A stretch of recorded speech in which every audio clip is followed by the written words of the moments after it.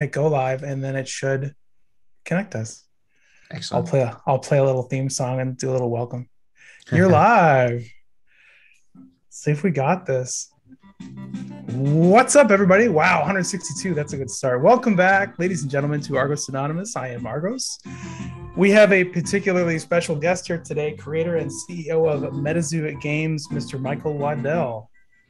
Hello. Thank you for having me. Oh, thank you for being here. It's awesome. Let me see if I can get these tunes kicking. It's nice to have a little background stuff here. How are you doing, Mike?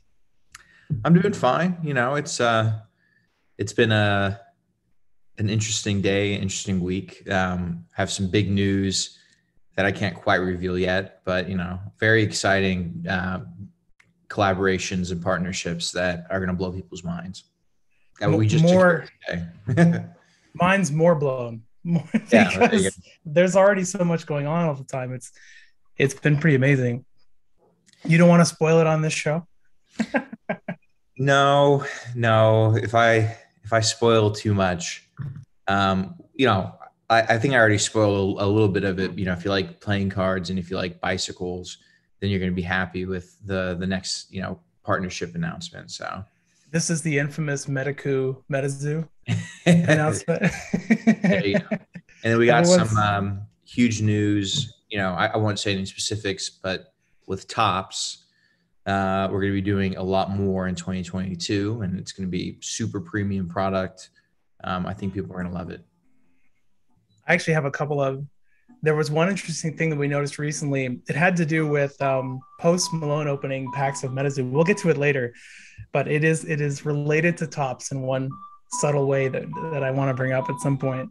Interesting. Okay. Yeah, yeah. Just just to keep everyone keep everyone on the edge of their seat.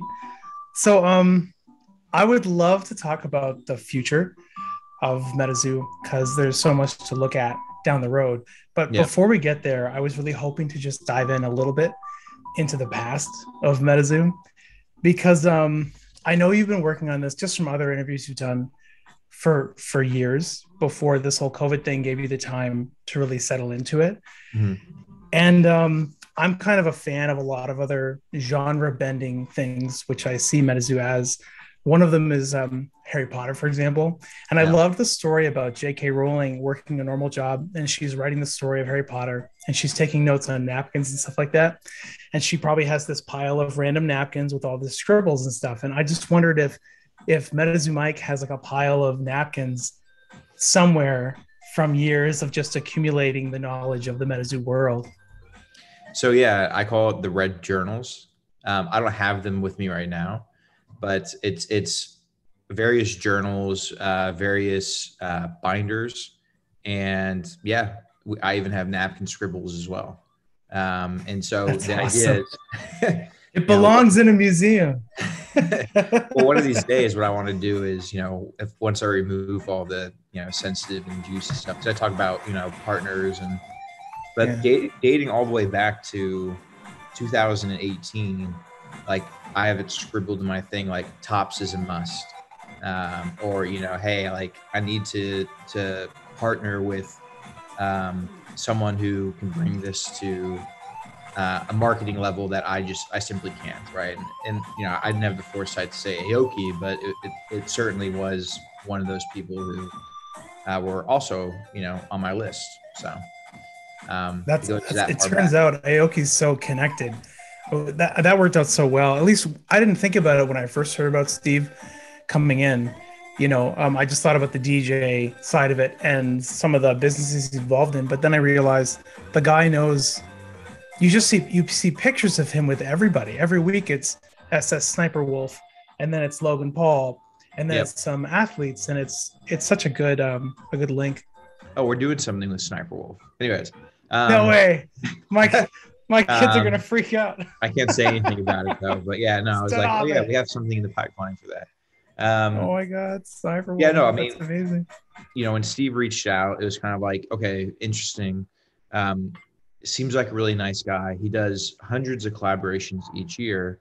And the only way that that would work is if he's easy to work with, um, he's an equitable partner, And when you look it up online, he has no one out of the hundreds of collaborations that he does, he has no one talking trash about him. Like there's no drama, there's nothing like that. So, you know, being the um, you know, I'm a I'm a businessman, so I was like, oh yeah, like I can work with this guy. Um, it makes sense, you know, a creative like me, but someone that understands business and how to do it properly. Yeah, that makes sense. That's good. Man. So coming up here soon, what do we have? We have Wilderness coming up and yep. then UFO in the summer. And then Seance is the next October set. Do we still have? I heard a rumor that the final set in the Cryptid Nation block was going to be a set called, and this might be a preliminary title, but called War. Is that still a thing? Yeah. So they're going to be three mini sets, um, kind of interspersed between these.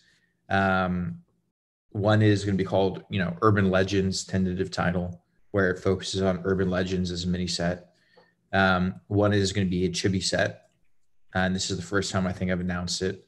Um, and then there's one that I can't talk about right now, uh, but it's heavily connected with with Aoki, and it's going to be um, a future look at cryptids. And actually, in in, in Q1 2022, um, you're not just going to see that announced, but um, you know the the plan is to actually make it such that everyone can participate in the pre-ordering of that in a very similar way to what we did with Kickstarter. Um, oh, interesting. So War will be the last main set, but then we'll probably finish it off with a mini set, uh, either Chibi or Urban Legends, and then we'll do Urban Legends, and then we'll do uh, what I call transition sets between blocks. And the first one will be set called Seven Seas or something like that, and it'll be focused on a set that connects uh, Cryptid Nation with Yokai Island and um, has you know pirates. It has um, uh, sea and ocean cryptids, and you know folklore and stuff like that. Um, so you know that'll be interesting. So yeah, but war is going to be you know kind of the last set, and it'll coincide uh, with the last few chapters of the illustrated story that's connected to the Cryptid Nation block. That's why I kind of keyed in on it because um you know, I know you can go coast to coast and you can pick up on U.S. folklore and culture and stuff like that. And it would be, it'd be, um, it's one thing to bring those things into the sets, like a seance or a nightfall, but a set like War implies this connection to the original MetaZoo storyline. Yeah. Because it just that's immediately spoke to me as as some kind there's actually something some culmination of events and this opportunity to bring back, you know, the the biggest hits from the set in some original MetaZoo way. I'm, I'm, super excited about that set just from just well, from the name of it. You know, having grown up with Pokemon, uh, people like Lieutenant Surge and you know some of the older lore in the Pokemon world referred to this war that happened in the past, right?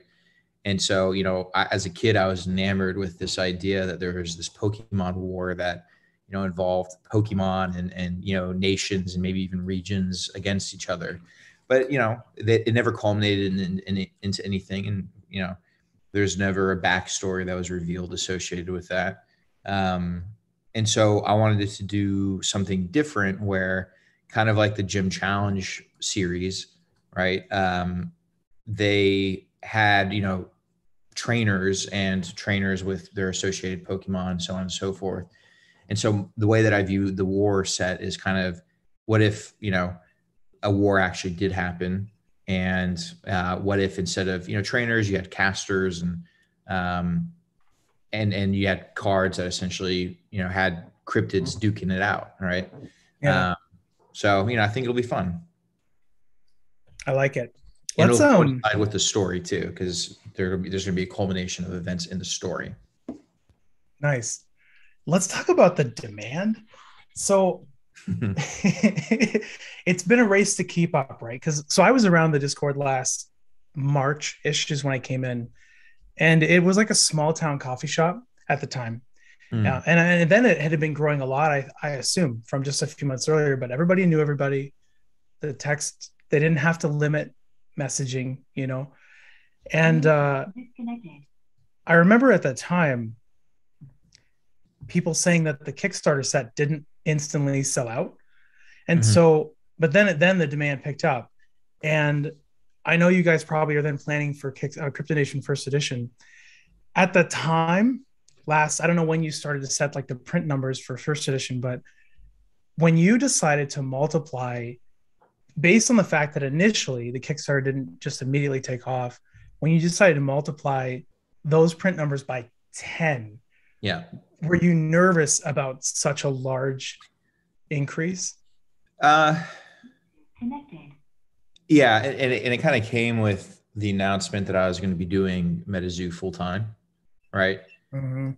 And I had, you know, received offers from um, certain big banks and certain big pharmaceutical companies, which during the time of COVID, you can imagine uh, they were looking and willing to pay for talents in the data science finance space um, yeah. that were really, really hard to turn down. Um, and you know, when I was here doing the Kickstarter streams and whatnot, I was like coming off of interviews that I was having with these banks and stuff. Um, and you know, I got the offers and I decided like, you know, I was going to do this full time. So it wasn't just a financial plunge, right? It was also, yeah, a plunge uh, in my life. And it, it, in you know the way that the banking world works, it's not like I could just go back um, if like MetaZoo crashes, right? So MetaZoo is the rest of my life. It was kind of like when you read um, you know stories about armies that kind of get cold feet. The generals would like burn the ships so that the soldiers would like fully dedicate. Um, I've yeah. Burned, no I've retreat, no surrender. yeah, exactly. Uh, so well, we are uh, we are grateful for that. I have no parachute. I have nothing. Um, other and, and that that motivates me every day, right? That um, if I'm going to make this my life work, my life's work, right? Then I have to put in everything that I have. Um, and you know, so it was it was scary, um, but you know, and, and honestly, from a finance perspective, like people were like, "Oh, you're able to." Um, one second, my. Yeah, no problem. Yeah, do you guys remember that? Who else was here in the chat? Who else was here last like March or April? Do you guys remember how like quiet it was compared to now? Sorry about that. Um, no, go ahead. So, um, yeah, no, it was it was a, uh, you know, people were like, "Oh, first edition's crazy. Like the boxes are, you know, going for whatever they're going for on the secondary market. Like you must be rolling in it." And it's like, I'm not sure. Oh yeah, but the money doesn't I, go to you. I, that I could finance the first edition. Like I could barely finance the Kickstarter. Like my capital contributions to kick the Kickstarter set, um, probably over 100k, right? And so that 18.5k um, that I, I, raised from Kickstarter was just a way of kind of generating hype and, and all that kind of stuff. So you can imagine what multiplying by 10 would do from a cost perspective, right? It do so, a lot. Yeah. Yeah. So really it was a matter of relying on the, um, the, well, geez, we didn't even have distributors. So what ended up happening is the, the, the two distributors that we had Golden and Channel Fireball, um, which I know, you know, uh, Channel Fireball is contentious and all that, but they actually prepaid for a, a lot of the set. And the way oh. that it oh. normally works, and Rudy did as well, the way that it normally works with um, these sets, though, is you actually, um, it's called net 30. So as soon 30 days after your product hits the warehouses of these distributors, um, that's when they pay, right? That's when they have to pay. So if you're printing something and the printers require upfront payment um, before they start printing, and it takes a few months to print, but you only get paid after it's delivered. Um, where do you get that money, right? So uh, thankfully, our partners were able to, to prepay for a lot of that, but, but that was scary for a while. I was kind of like, how the hell am I going to pay for this? I thought it was interesting because you remember um, in July, people were um, unhappy about the $150 that, it, that a first edition box would cost because it was more than 100 um, and the demand oh, was going up so nightfall was 139.99 first edition was still 100 though Oh yeah, yeah. I meant uh sorry, I meant on these um some of the retailers were charging a oh, little bit more, yeah. you know. And uh but demand was going up so fast. And then you hit Cryptid Nation release and it turns out that 10 times multiplier then just gets absorbed so fast. Yeah. How far in advance? I've been wondering. So then you double the print run for Nightfall, right? And you're at what point before a set is released are you required to guesstimate the demand? Because it has to be challenging at times to look in the future and just kind of pick a number. Well, so I'm a data scientist, and or you know, I, I was, um, and so you know, I look at that. But then we're right at the point now where we're reaching a, a steady state where you know, Wilderness First Edition is going to have a print run of hundred thousand of each SKU. Okay, that's worldwide. And even if the fan base um, increases by 10 times between now and uh, UFO, right? We're not going to increase the size of first edition print run. What we might do is we might um, have, you know, second edition that comes, third edition, fourth edition until demand is sated. But we, what we don't want to do is because we have so many products that are out there or coming out, we don't want to overprint in any particular print. Um, we don't want to ruin the collectability of first edition. So it's it's not just about gauging demand; it's also about gauging where you draw the line from like utility of the print run and yeah. and the collectability of it. Right? Uh, would it be better for players and just people who are interested in playing if they could get um, boxes for below MSRP and there's like an infinite source of them? Sure. But even the people that were playing, you know, what's funny is uh, the people that were playing at our tournaments, you know, and they're playing with Nightfall cards, they were like, you know, it's really great that there's so many, you know, Nightfall cards available with the non-hollow gold uh, slot. But you know, it, it, it's kind of a bummer that it's so easy to get like all the cards that we want, and it's like, yeah, okay, God, you can't win, right? Um, you can't win and so even for the players the players are always they're collectors too and so it's it would be naive to say yeah just make everything super available and you know uh, because that removes the experience right uh, or a lot of it and and, and at its core yeah there's this um one of the things that once you integrate with an lgs system and if you're an lgs owner you understand is that at the end of the day if the cards in the box are worth less than the box, it's very difficult, or even close to the box price. It's very, very difficult to sell the box. It becomes increasingly yeah. difficult to sell. And what happens then is, as an LGS owner who is hosting events, ideally, which then contributes to the player base, right? If you can't sell the box for a profit, you stop you stop selling the box. And then if you if the game is no longer something that helps you keep the lights on, you don't promote it as much yeah it's not worth it and then they're not a new player comes in they're not going to say hey check out this new game that i can't sell because the cards aren't worth as much and and sometimes players i think they would do well to understand if in that broader ecosystem of if you support the value and the collectability it supports the ability to sell it and that supports the store and that supports events where you yeah. can play you i know? mean it, it's such a odd balancing act um, yeah. Because you want to support the stores and you want to say, like, hey, yeah, like, hey, make your bread. But then, like, you also want to support the players. And then, you know, if they're being priced out by a store, you know. Oh, yeah. Like, and it's kind like of like two or three times MSRP. Yeah. And it's also kind of like, you know, I want to support a local game store like I don't care about your business bottom line if you're not helping MetaZoo, right? Like, why would I care if you make more money selling at four hundred dollars a box if you're not helping the community? Like, totally. I don't care about your business at that point because you're not doing anything for MetaZoo. You're not doing anything for our community. Why wouldn't I just sell those boxes at MSRP or even at a discount MSRP, make more money than the margins that I'm getting by selling to a distributor who then sells to you, um, and ensure that you know players and collectors get the product for cheap why wouldn't yeah, i do that sense. at that point um so yeah i mean it, but then you know you, you say that and and there are some you know local game stores who say well you know it you know basically like then you don't care about the local game stores. And it's like well you know we're, like we're not we're not in this for charity right? Like we support local game stores because local game stores support the community. Um sorry my dog is freaking out. One second. Yeah that's okay. This is the infamous oh gosh. Hey chat what's mike's dog's name? I know you oh fiona. This is the infamous uh, princess fiona who who needs to needs to get inside. Hey guys, should I ask about the uh, Cryptid Nation second edition print run? Put it in chat.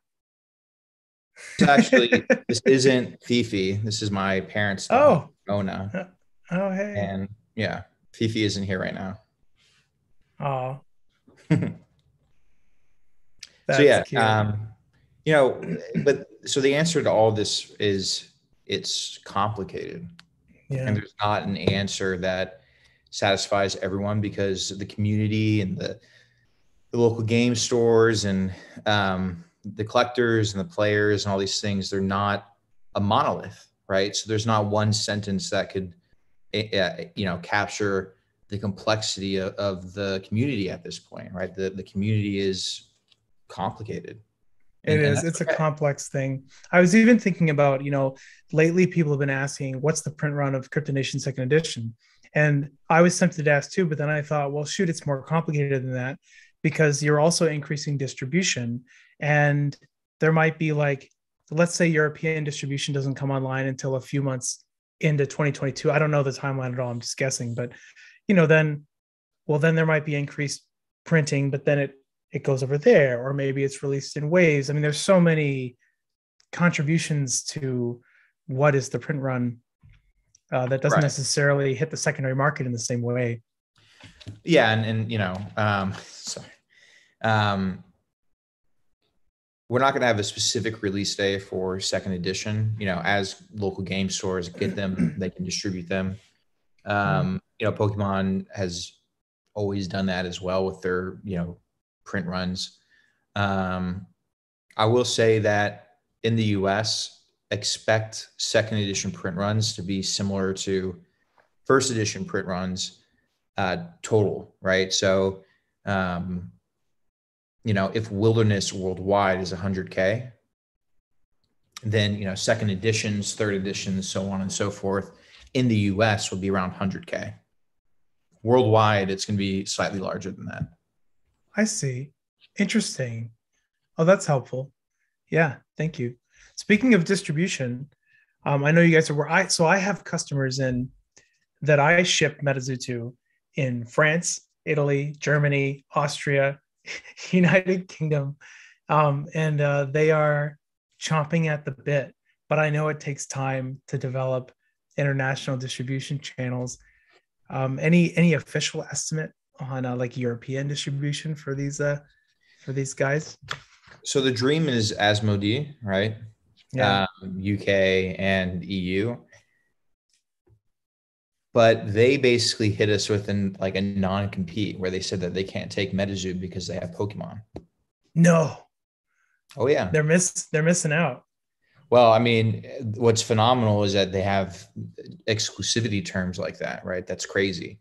Um, and they could yeah. be that could be just an excuse or whatever but um, we're looking at smaller distributors um, and if we can help them you know rise to the top by supporting metazoo then we're happy to do that and we have a few quite a few who are interested so well it makes sense that's exactly how it started in the united states right people mm-hmm. wouldn't return your phone call and yep. then you launch with the one pe- person who did and then suddenly everybody's calling i mean how long until it's hard to say no to to money if you have a product that sells you know? Yeah which is what makes it um, very phenomenal that it was just a, a very hard no. Because uh, what we were, we were offering them kind of like hey here's millions of dollars that will sell. Um, and we are laying it out on a red carpet for you. And they're like uh, well you know hey listen things are you know and so anyways I won't speak ill of them because it, it, honestly was a business decision that we didn't have all the insight into. It just sucks for the UK and EU members that we don't have a solution ready for you know Cryptid Nation second edition. Hey, Uh, chat. we're, we're gonna do what we can though. I have a I have a request of the live chat based on this conversation. Here's what I need. I need someone to make a meme of Mike. Is have you guys seen Starship Troopers where Doogie Howser's got his hand over the bug and he like he like closes his eyes and he senses the fear and he goes, It's afraid. Yeah. It's afraid. I want a Pikachu with Mike holding his hand over the Pikachu and then a text caption saying, It's afraid. or Snorlax. That'd be fun. Or Snorlax. Yeah, some kind of something. And, and you can DM me that in, in Discord. I think that'd be fantastic. yeah, and I'm that not makes sense. saying- Yeah.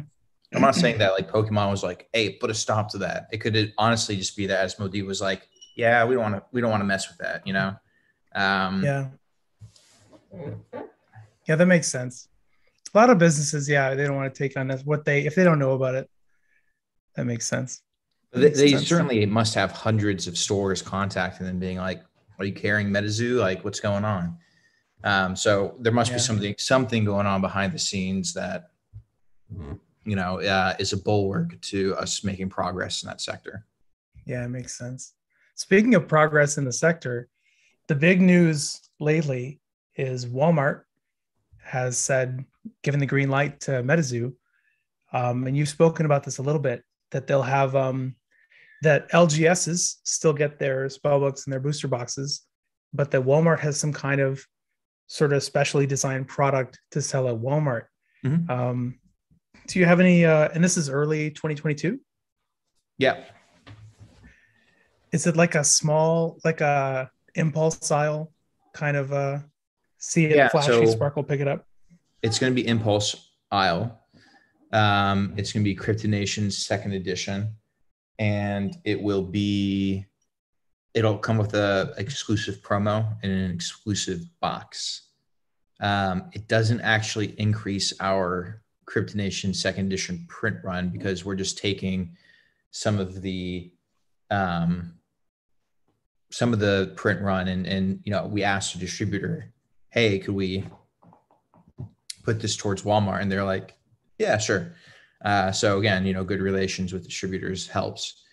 Um, yeah. So, you know, and we're working on something similar with with Target and GameStop. Um, and you know, that's just the start. Uh, we're working in Walmart to hopefully get a uh, an exclusive blister pack with Pin Club um, pins in it as well. So you know, the idea is that we start with a f- with one SKU, and then we expand to other SKUs like plushies as well. But we won't be cutting into the booster boxes or the spell books or the theme decks and you know the, the current SKU, SKU uh, you know products that are part of the local game store offerings. One second, sorry. that's okay they'll like that that makes sense guys i was looking up walmart and this is worldwide i don't i don't know what it is for the united states but one of the big things about walmart isn't even selling the product. It's just um there are like 37 million customers for walmart per day. This is including online of course but you know you just got people walking past it. Mike i was just saying um just the fact that it's there and you just have a constant stream of people walking past it looking over and potentially seeing the metazoo name just seems like it's just a big step congratulations on that Yeah, and, and you know, so it's a matter of foot traffic, right?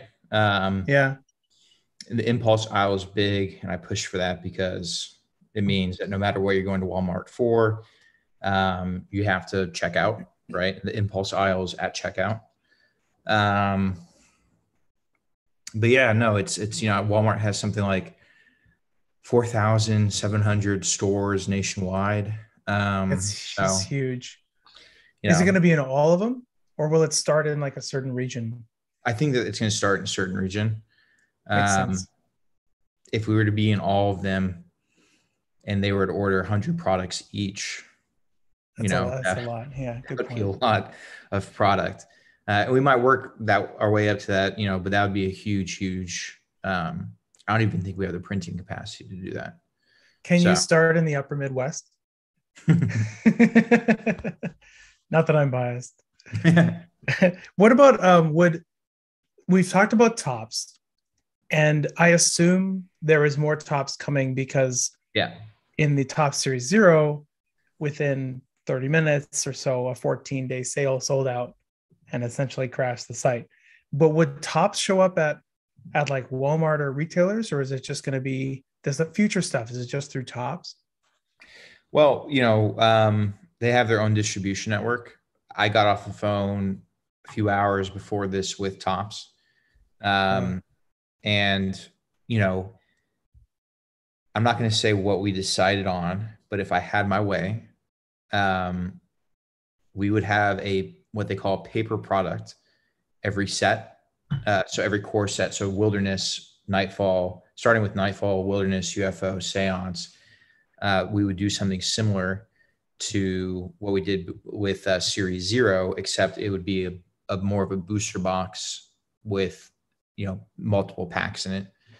Um, oh yeah, cool.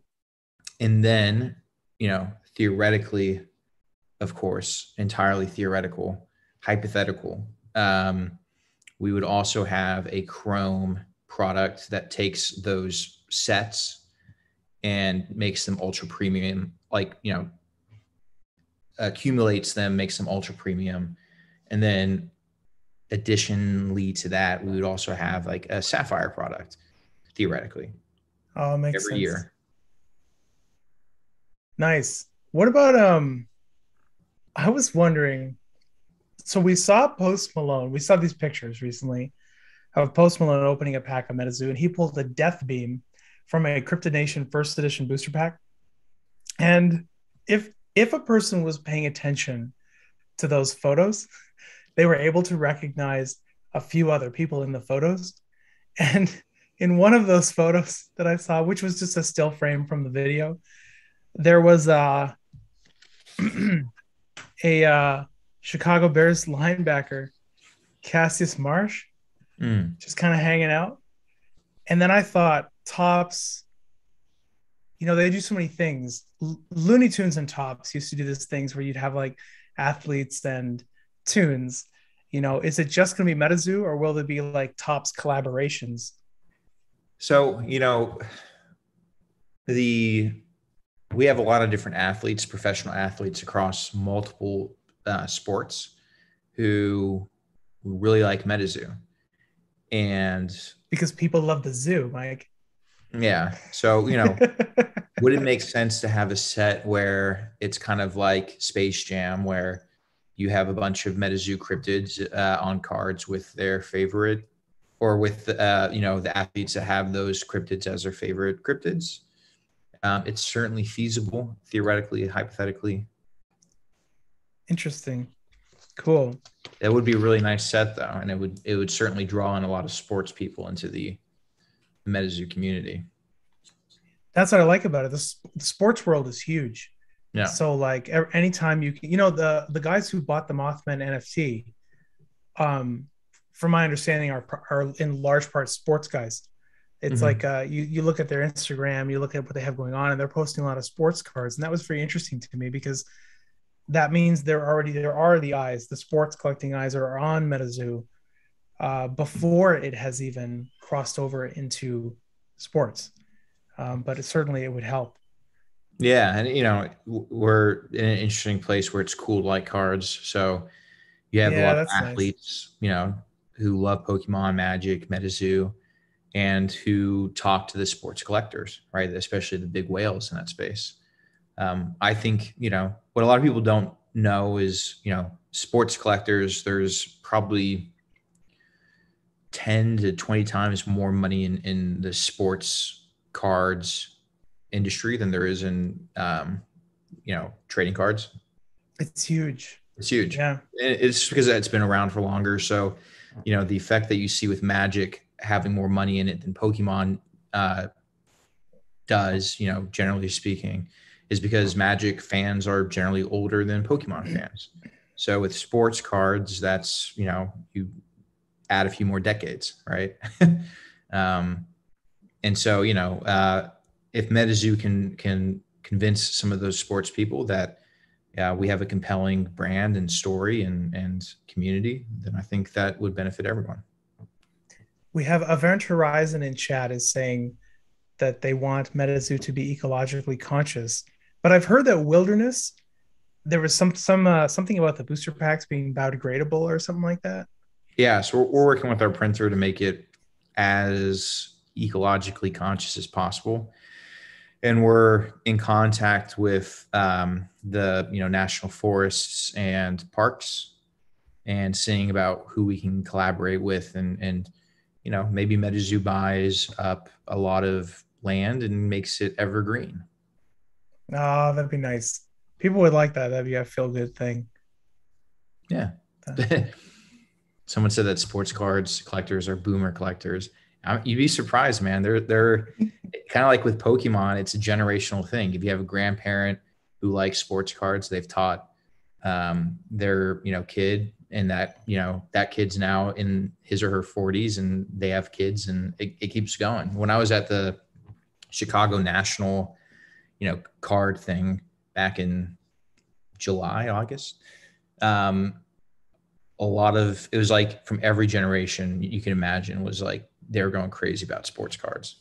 Yeah, makes sense. There's you also think there's a lot of people who play sports who have large incomes. You know, like mm-hmm. if you're a if you're an athlete and you have a large income and you're choosing a collectible, it may be sports. You know, and so that's that's gonna that's gonna lift it up.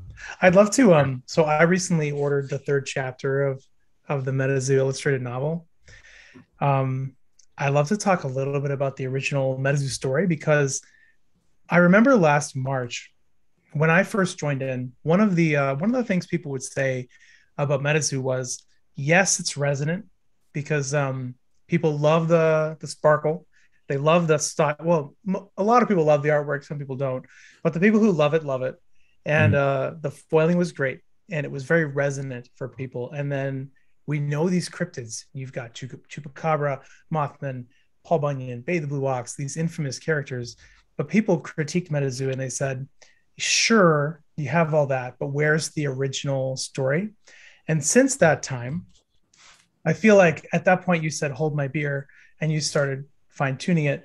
So I have like, I have these two chapters of the MetaZoo illustrated novel. I'm awaiting the third, but I, I just wondered, you know, um, I think the fourth comes out in a couple weeks. But mm-hmm. how far? You may have notes for way down the road, but you know how far have you developed this original story idea, the the original world of MetaZoo? So I have detailed notes uh, for 36 chapters um, yeah. to be finished, to be finished by um, the time that we leave the Cryptid Nation, right? Um, and so, you know, I have a, a year, year and a half to get my ass in gear and start hmm. publishing these things. Did, did you just say 36 chapters just for Cryptid Nation? Just yeah. for this blog? Wow. Cool, because, man. You know, the chapters are going to be what drive, you know, those 36 chapters, 36 chapters are going to be what drives the video game, uh, the television series, or the you know the, the streaming service episodes. Um, and you know eventually movie. And i want it to be you know kind of like in pokemon you have regions.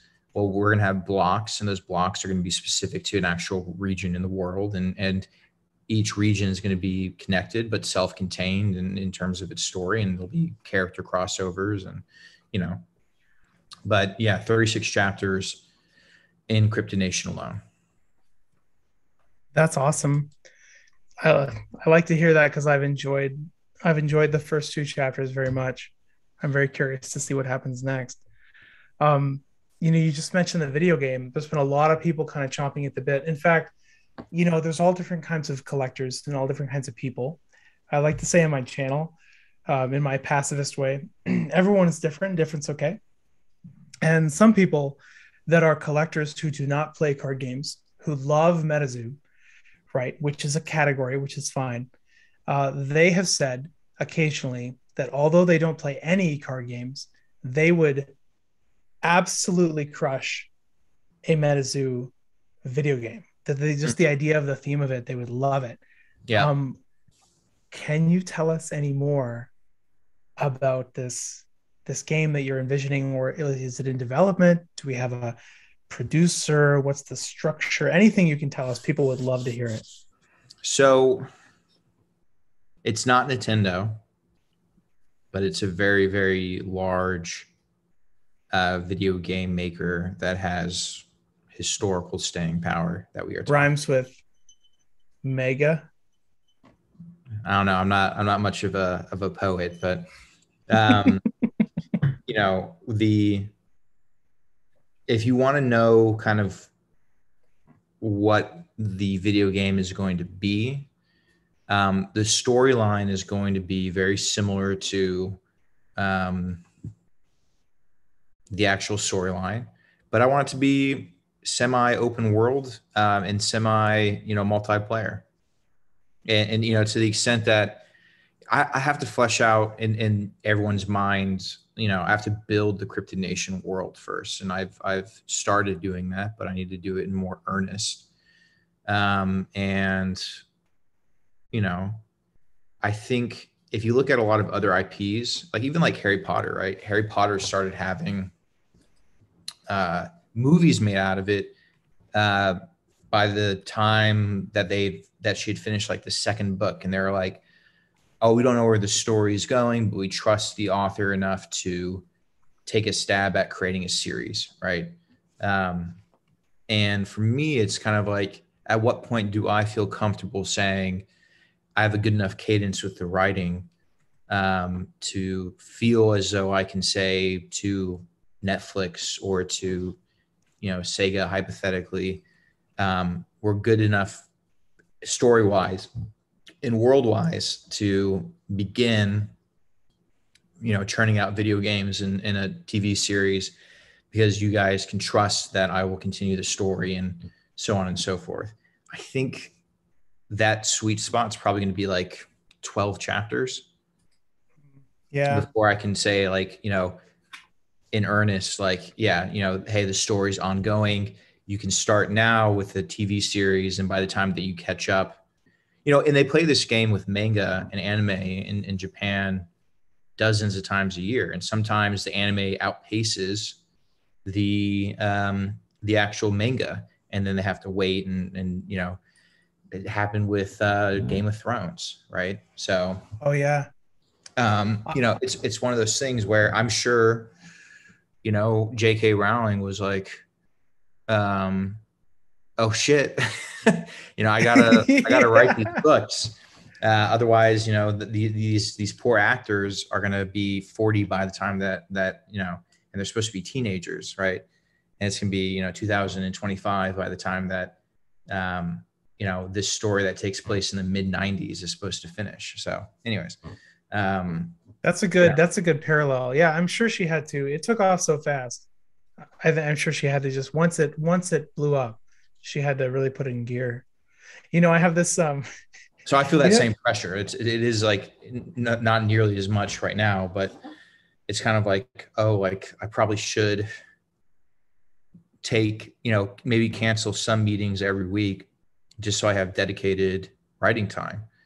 Um, yeah, and that's a hard decision for me to make because you know um, it's just a, it's a balance. And I, am finding that my time is like i'm working you know 18 hours a day on MetaZoo how many on average i'm sure it varies but in a given week about how many meetings are you in right now? Because we're seeing Topps brick bears plushies cards you know uh, the, the sets themselves the printers so so many things. What's your week look like? What's the lineup First of all, I don't think I publicly stated that we were with uh, Bear Bricks, but sorry, uh, my bad. my bad. Um, no, no, no. Um, you know, but theoretically, I'm, I'm pulling be. this out of yeah. nowhere. Um, I I probably do about 50 meetings a week. Sorry, I thought you just said 50. Yeah. oh, yep. Well, thank you for carving the time out of the Discord. Oh, for sure. I mean, look, this yeah. is um you know, my MetaZoo hours and doing interviews like this are uh, kind of it makes it more real for me. Otherwise, I'm I'm just like in the thick of it, right? Yeah. Um, and it's hard, you know. What about um? What about so MetaZoo's got its own kind of game thing going on with a game developer we may or may not know, a prominent game developer from the past uh, that we probably know. Um, what about guest appearances on other popular video games? You know, you see some popular games that collaborate with Predator or you know um, any kind of popular icon to bring it in as like a skin or something. Is there a chance we could see MetaZoo? Like I could play a game that I love and play as a as a Mothman or as a Hodag or something. Yes. Are we naming? That's all I'm gonna ah, I heard rumors of some pretty big names that maybe we won't bring up in here, but some pretty big names. Names my kids love. I do too. That's fun. What about a what about a digital version of the card game? Any plans for that? Uh, so from a software perspective, what my main focus on right now is finishing the organized play network for stores to use. Um, and I'm talking to some a, a, pretty fantastic team, and we're closing a deal this week on it. Um, and then I'm going to turn my focus on, you know, taking what fans are currently doing in tabletop simulator, and really just like coming up with their own, and coming nice. up with their own that's dedicated. That you know, we can, you know, have dedicated support for and uh, tabletop simulators is great, but it's not ours. Um, and you know we can't give it the due diligence and the effort and the focus and the time that it deserves. Um, so you know we will do it properly and find our own solution. You know, someone in the chat just asked, "How would a fourth wall effect work with software?" And um, I remember you mentioned a while ago, and maybe you could elaborate, but when you add weather, like known public weather data and GPS data and public landmark data, there's a fair amount of fourth wall that you you could bring in even in a digital environment. Yeah, so you know you could do a couple formats. One is exactly what you're saying, which would be kind of the most robust one. The other one would be, you know, um, a, an environment that you play in is randomly chosen, and then the match starts, and you're in a lava environment, and you know you have 30 oh, minutes yeah. to, to, you know restructure your deck or something like that, like, um, or you can choose it outright. Like there are all sorts of different formats that you can do with it that is just not possible currently with Tabletop Simulator. So there are some um, deck crafting like brewing enthusiasts who would love that challenge. That would really show a person who knows the cards and knows the decks and knows the effects would thrive in that environment. I think some people would love that challenge. Well, we're calling it the Blitz format, and we're going to be doing it in real life as well, where, um, you know, kind of like in chess, there are Blitz champions who would, in a conventional in the conventional format, wouldn't do as well and vice versa, right? It's a different skill set to build a deck super fast. Um, but maybe you don't capture the same depth that you get with, you know, pro tournaments that have pre-con decks in them that, you know, someone spent months constructing and testing. So it'll be, I think, I think the, you know, when we have the OP system rankings, they're not going to be one to one in in all the different formats. Uh, there might be like a few people who are, who are boss at all of them, but um, chances are they won't be one to one. There's always that guy or gal. or gal. speaking well, then speaking of formats and tournaments and stuff like that, um, rumor was you're planning a rather large prize pool, a rather large scale tournament for some time in 2022. Yeah, I mean, as soon as we roll out um, the OP network. We're calling it the MPN, the MetaZoo Play Network. Um, oh yeah, yeah. We want at least a month and a half to two months of people playing at their local game store before we have a you know our first national championship where you know I want the prize pool to be um, something like a hundred thousand dollars, and I want to be able to have uh, people who you know first prize would be something like 50k right? That's so that's so much. That's so awesome. There are some very serious players mm-hmm. who will see that Yeah. there there's professional professional players from other games um, are going to see that they are going to come you'll have Absolutely. teams of people that will That's how I'm gonna- that's how I'm gonna, you know, attract that talent. Um, and as I'm sure you know, being a uh, a lawyer, right? You're a lawyer, right? I, I am a doctor which is close i have to know lawyers very intimately to not have to see them Um, you gotta, you gotta, you gotta have the money available if you want to attract the proper talent, right? you do yeah Um, so you know, for us, it's kind of like you know we're doing all these different collaborations and stuff, and every time we do a new product vertical, we are tapping into that new market and bringing new fan. It's like building a bridge from that. You know, the people who collect uh, coins, we're building a bridge into MetaZoo. People who collect jewelry, we're building a bridge into MetaZoo. Um, for the players, obviously building a good game is a huge bridge that you build, but prize money and, and, and tournament circuits and all those things. And that's the, a really big bridge that you can build to, to attract talents into your player base. Oh yeah, it's big. I've seen that in other games too. You know, the moment that the moment that is there, heads will turn from these very competitive, very talented players and and teams. And then when they go, other people will say, "Hey, you know, team that team is going, that team is going," because they'll talk about it. Um, it's and it's a it's a different. It really is a different um, kind of person and a different player. You know, a different different a whole different perspective comes from these people. It'll be very interesting to see how that how that goes. I'm excited to see it. Yeah. You know, but what I want the, you know, I want the convention or sorry, the tournament to also be super fun. so it's one of those things where it's like, you know, if, if you're a serious player, come to the, you know, MetaZoo tournament. But if you just want to have fun, that's totally cool too. So Like side events and like bounties and like random yeah. other stuff.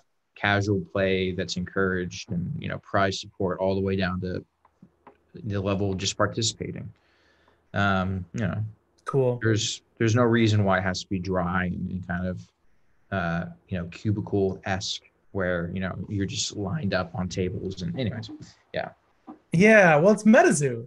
It's MetaZoo. like yeah, fun is is core. Is that's awesome to hear. You know, you have Damian Hardy on your staff, and um, one of the great things about Damian's last card career is that they they did, and everyone kind of everyone said this. They did organized events very well in that they made them fun Mhm. with so many other things so that if you basically if you go and if you scrub out of the of the main tournament on the on the first day you just you have all these other options of things you can do um, and I would I would love to see that. That would make it a really fun an event that you would want to travel to would be Yeah. really cool. It may be entertainment that also impacts the the fourth wall you know? We'll see. cool. What about uh what about a banned and restricted list? Like how will you guys manage? Do you just look at the once events start going so oh and on that note you, you mentioned you wanted to give people a few months before you start a big competitive play. I suppose this is also to get Cryptid Nation second edition out there and get Yeah. cards into the hands of the people first. Yeah exactly. So i mean makes sense. we could be kind of tone deaf and, and do a huge competition right now but then no one would have the ability to actually play in it because cards are scarce right? Yeah. Um, and so Cryptid Nation Second Edition is really going to be the first time where at in mass we're going to be able to put cards in the hands of players who just want to build decks and have fun. Um, and so you know we have to wait for that to distribute, and that's going to you know distributing Cryptid Nation Second Edition is going to take a few months. It's not going to be like one big you know poof.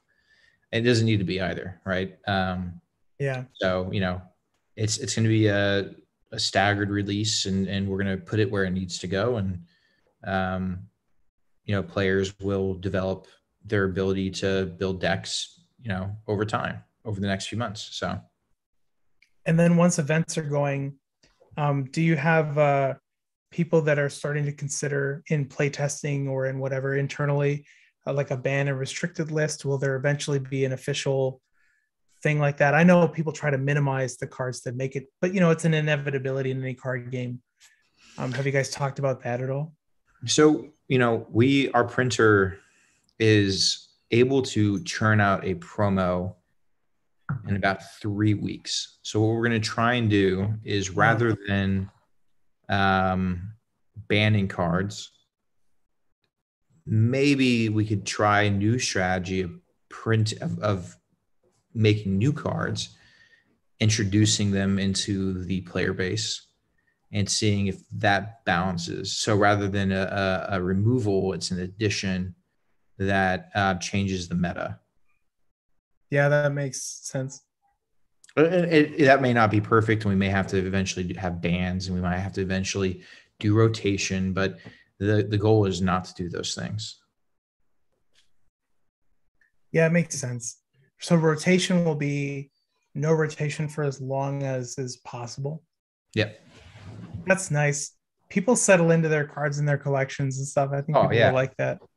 Oh yeah, I mean, and look, you know, um,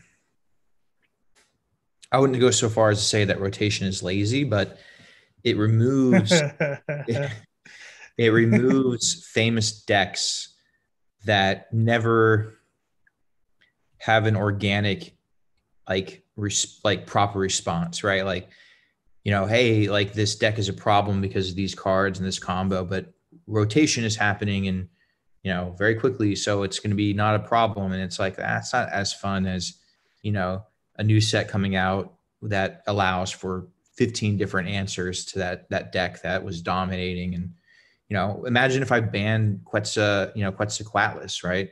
Rather than you know releasing cards that were a proper response to it. Is it still a powerful deck? Sure are there like 10 different decks that can dominate it? Yeah. So yeah. Magus of the bargain agrees with you. In chat magus says you don't have to ban a card if you print an answer to it. Yeah. Yeah. Power That's... creep. So magnus also says power creep. What about that? Um, we're doing what i call like horizontal development. We're adding cryptids. So like if you think about some sets or some card uh, well some card games where you have a set limit of characters or you can only introduce new characters every block. Um, how do you build on those characters in a way that um, is new and interesting? One way is power creep by making them have bigger attacks bigger whatever.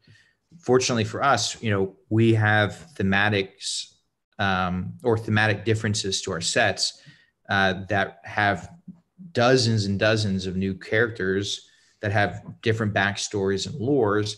So we don't actually have to do power creep.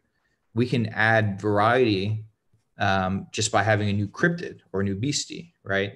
And yeah, and adding a new mechanic in that you know no one no one's seen before that's connected to the lore of the you know the character, right? So it's like, you know, we can develop horizontally in that way that I that I don't think a lot of other uh, IPs can because we have at our disposal just thousands of characters that already have an accepted community. So hold on one second. I'm going to get my charger.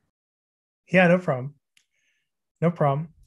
Guys in the chat, I, I am watching. We are going to talk about NFTs and we will not, not just about the um, non-functional NFTs. We'll talk about sample cards and NFTs. We'll talk about NFTs with redeemable properties or like other functional things. We'll talk about will there potentially be a video game that incorporates cryptocurrency and NFTs?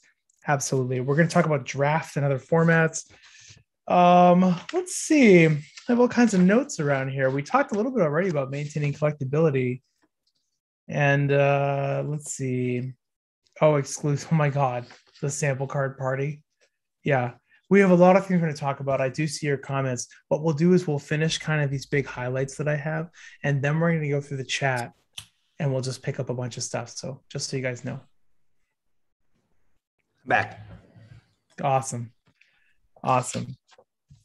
Shameless self promotion. We have a couple people asking about an Argos promo. You don't have to answer that. Um, so there's uh yeah, we so that's good. That's that's interesting. Yeah, power creep is a thing. You know, some games handle it better than others for sure. Um, I like the idea of horizontal horizontal creep in the sense you you can, especially with 10, think about it. You have 10 aura types. It's twice as twice as many different types as magic. If you if you develop a, a dynamic aura pie, for example, you can do my wife is holding up the sign. Hang on, Gaia's over here holding up the sign. Ask about oh come on. Okay, fine, I'll ask. She must be in a live stream. I'm gonna finish my sentence and then I'll let you guys know what my wife wanted to know. It's very critical. So you think about it, you have you have 10 different aura types. And if you develop like characteristics and things like that associated with each one, you can get, you know, magic has gone almost 30 years off of five.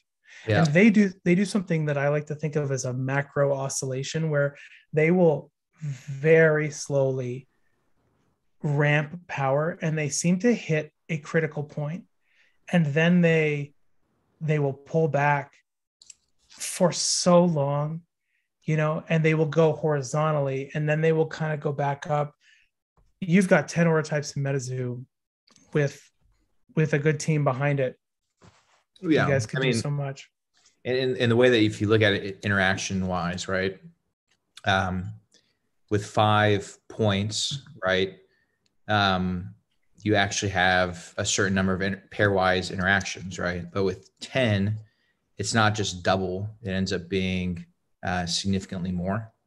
Yeah. So, you know, um, yeah, I mean, I think, I think it's, yeah, it's, it's quite, quite a bit more. So, um, there's yeah. like subtypes to the subtypes. I mean, yeah, it's, well, I mean, you know, think about like yeah. this, right? So for if you have two aura types, then you have one type of connection. If you have three, then you have um, you know three connections. But when you have four, it, it starts you know increasing, right? So in math, it's called a complete graph um, because every point is connected to every other point. And so with that, with you know 10, you actually have a, what's called a, a G10, which is like 10 points all interconnected and so that the number of edges in that is is huge. Uh, I forgot what the, the math on that is, but um, it's big. Yeah.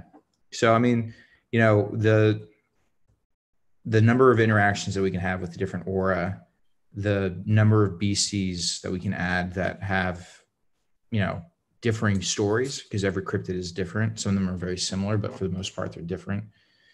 Um, Some of them have hundreds of years of story. Oh, it's amazing sure. how deep some of the lore is already.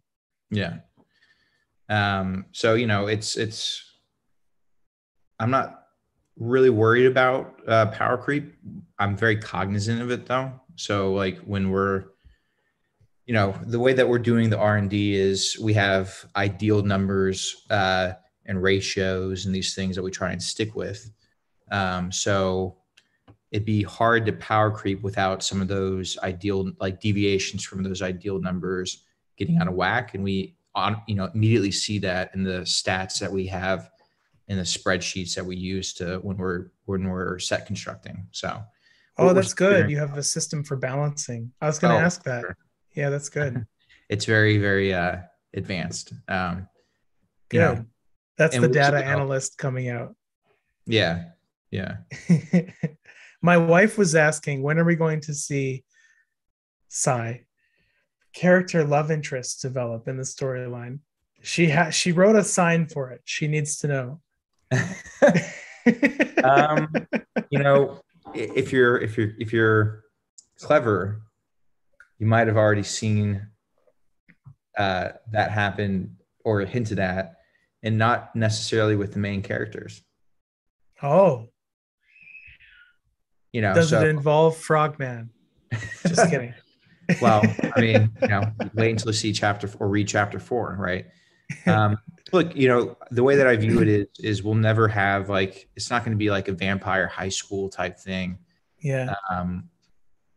Okay. Yeah. So it the number of edges in a complete graph is n times n minus one uh, divided by two. Anyways, um, it you know it's not going to be like where you know some of the some of the issues that i have with like love interest stories is the people who are interacting with them, their social life and their love life is like the full extent of their personal experience and universe. Um, but most people aren't like that. Um, and so, you know, there are enough extreme things to keep things interesting in the story that are happening. Yeah. I don't have to I don't have to rely on taking the love interest to hyperbole. That being said, um, you know, uh, love interests are a natural part of human interaction and cryptid interaction, and you know, so uh, we'll see some of that in, in a way that's like uh, appropriate. Okay, good. She'll like that. I'm sure she just listened to that answer. Honey, I did that for you. That's good. What about um what about a draft format? Has there been any talk about a draft format? We want to make wilderness draftable. Yeah, because people love the draft. Casual players love draft. Yeah. That would be how would that would you oh someone else asked too, will every set and and you have the whole you have 20 years plus ahead of you so this could always change but will every set have all 10 aura types or will you ever have sets that focus on say like just some and not and not the others? Sorry i was thinking about something. Could you repeat that question? Yeah no problem. Will will every single set have all 10 aura types or could we ever see a set that kind of focus down on one area of the aura the aura wheel. Yeah. Um, so you will always have 10 but you're going to have what's called a flagship aura. So wilderness based on theme right is going to be forest based uh, ufo is going to be cosmic. Um, seance will be spirit. And then we're going to have what's called a, a one or two counterbalance auras which um, are beefed up a little bit uh, because they are kind of the strength against um, the flagship aura, and then everything else kind of has support for you know the flagship or the counter uh, counterbalance auras. Nice. Yeah, that makes sense. There's a lot of room for play. Like like we already talked about when you have so many aura types and so many interactions, you can just the world is your oyster. Yeah. We talked we talked earlier a little bit about maintaining collectability with um, with 100,000 SKU uh, first editions. Um, what about people have asked about?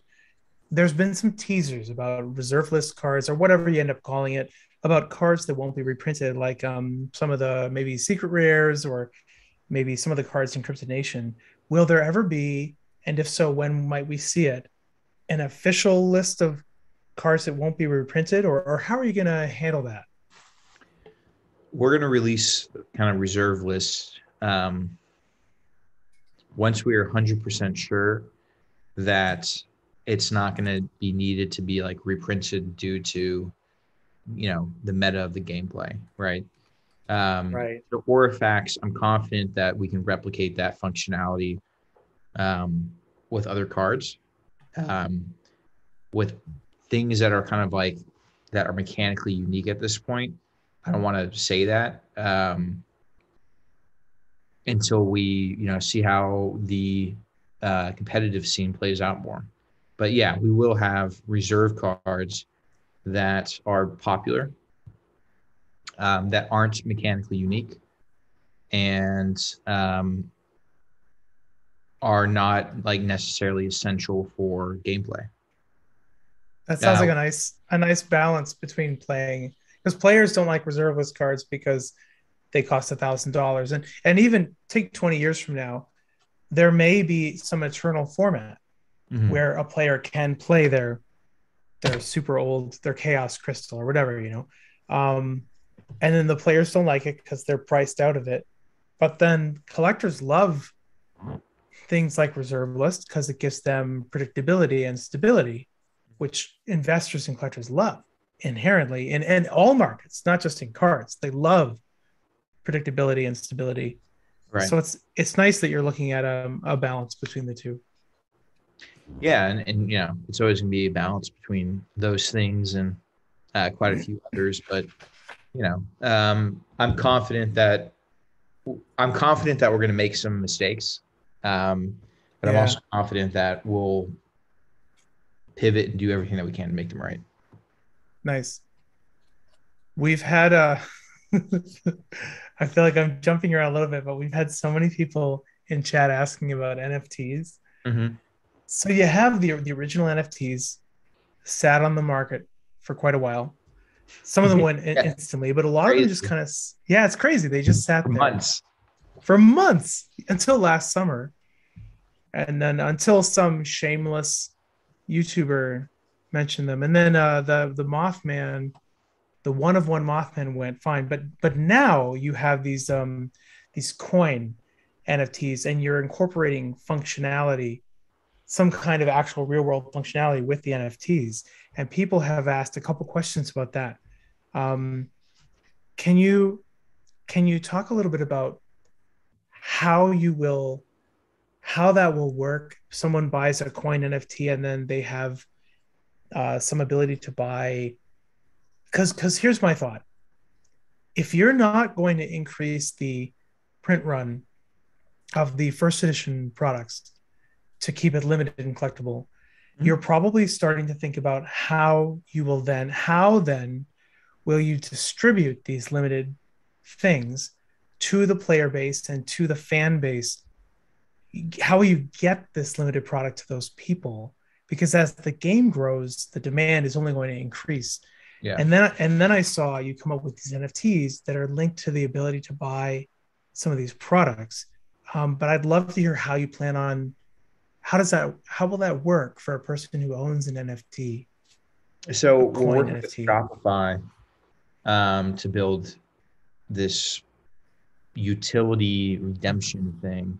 They're not they're not just doing it for us, right? Um, but the idea is, you know, NFTs with utility via smart contracts on the blockchain are a thing of the future.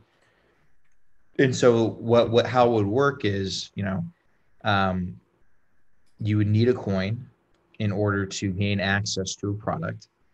Um, and there'd be no ability to like, you know, hot like hotkey into the the URL, you know, or bypass it like they do with the apps on Shopify right now. Uh, it would have a limit per person, and you'd buy it at MSRP or discount MSRP, and you know, go on your merry way. It's not a one-time use um, you can use it in perpetuity and we're, we're going to be doing it for basically every drop uh, every drop where you know we have 5000 or more of something right um, and but it's limited um, and you know the idea is is you know way back in the day we had um, the patreon that had a very similar functionality um, and you know we, we did away with that because product was so scarce that it didn't make sense to give people, you know, a uh, a pass on getting product before everyone else. But then the bots yeah. came in and and you know ruined that for any everyone anyways. Um, so we see with the print runs increasing the way that they are, you know, having 5,000 slots available where people can get products guaranteed at MSRP. Bots are going to be eating it up you know hundreds of, of you know orders at a time um, you know it's now there are bots that operate through nfts and all that kind of stuff but we're doing the best that we can to avoid that i don't know it just seems like a natural progression i think in a world where scalping is automated um, creating yeah. these walls or gates um, will put products at msrp in as many people's hands as, as possible that's nice. I, I confess I am currently um, in the process of transferring money to uh, my MetaMask account account so that I can purchase one of these coin NFTs. But my I have to uh, convince my bank that it's me because I don't I haven't been too involved with NFTs or crypto, and so anytime I try to touch them, my bank is like, no, no, no, no, no, no. yeah, no, it's it's um you know, next week or the week after that, we don't have much time, but we're releasing a uh, a website that describes kind of the utility function, and then a video as well that you know talks about, um, you know, what the process for setting up the wallets like, you know, it gets people kind of um, comfortable with the situation, and the process, so on and so forth. That'll be really helpful. There's a lot of people who absolutely want it. They see the utility, especially because you used to have a certain camp of people that used to say, "What good is an NFT? What does it do?" And of course, you could make the same argument about uh, painting, yeah. right? But um, but now that's gone. Now that you have a functional purpose and a collectible NFT, all of those people are looking at this going, "Oh, that's what it does," and and it's it's it's good you're putting out a video like that because a lot of those people have just have no idea uh, how to do it. So, when did you say in a couple of days we can see that? Yeah, so we're working on the video right now, and the website's being built right now. So That's I mean, cool. it, yeah, it should be relatively soon because it's it's kind of both of those are kind of turnkey. Um, the company that we're working with has made dozens of them. So, oh, nice. Yeah, just, this isn't me like on mint, minting things. This is a, a multi multi million dollar company. I don't want them unless they were custom minted by Medicine Mike. Yeah, no, no we're we're we're in the big league now when it comes to the the NFT minting. So it, it's being well taken care of. Is it possible we'll see any in the future any other functional? I mean i know the future is vast and all that stuff but um any plans for, sure. for further functional nfts oh for sure. I mean you know nice. we're going to be the first major tcg that has nfts in mass uh, with utility and all these different things. Um, but we're probably not going to be the last by a huge shot. Um, if wizards of the coast isn't already planning on doing this then they certainly um, will very soon. Um, but we're probably going to do like uh, PFPs next. So think like, you know, profile pictures. Um, I just have to figure out what a cool utility for them will be. They'll be randomly generated like Mothman with like lasers coming out of their eyes. Uh, you know, but it's also okay for them to be collectible and just be collectible. Um, fun. That's fun. Yeah. I mean, look, I your like car, that. your your your you know Mothman card is is important and valuable and special to you, um, even if you don't play the game because of of what it means to you. It doesn't turn into a car or charge your iPhone, and that's okay. yeah, that's a good point. Its utility is is is the special feeling that it gives to you when you look at it, or knowing that you have it, or getting it graded and seeing it in a slab, and um, you know that's a little bit more of an ambiguous utility and it's unique to each person but that's what art is. That's what art is. That's what collectibles are. A lot yeah. of them. That's what um, i collect uh, coins. I like yep. silver coins and, and random other things uh, and that's all it is. I walk into my office and i have shelves of things i just enjoy. And they yeah. don't do how dare you. they don't do anything.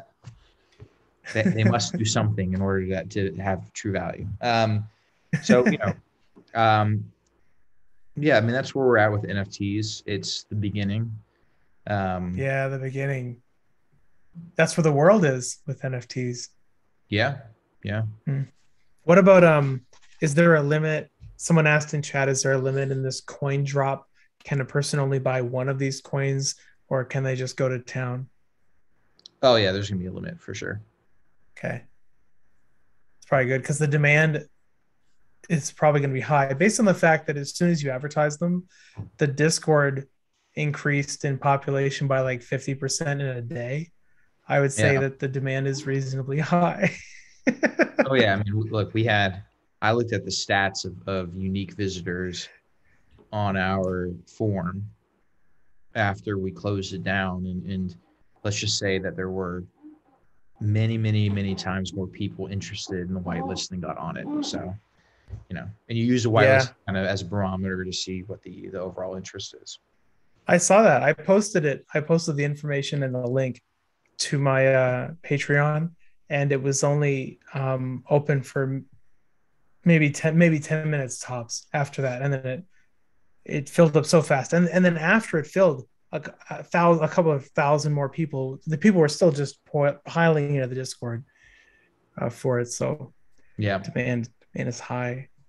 Yeah, I mean, and, and, you know, there's it's kind of like you know, well, they're not true MetaZoo fans, and it's like, well, MetaZoo has brought many people from different sectors of the collectibles world, into it and and they may not collect the same MetaZoo stuff that you do, but they they're still looking to collect MetaZoo. So, you know, well, and your MetaZoo fans.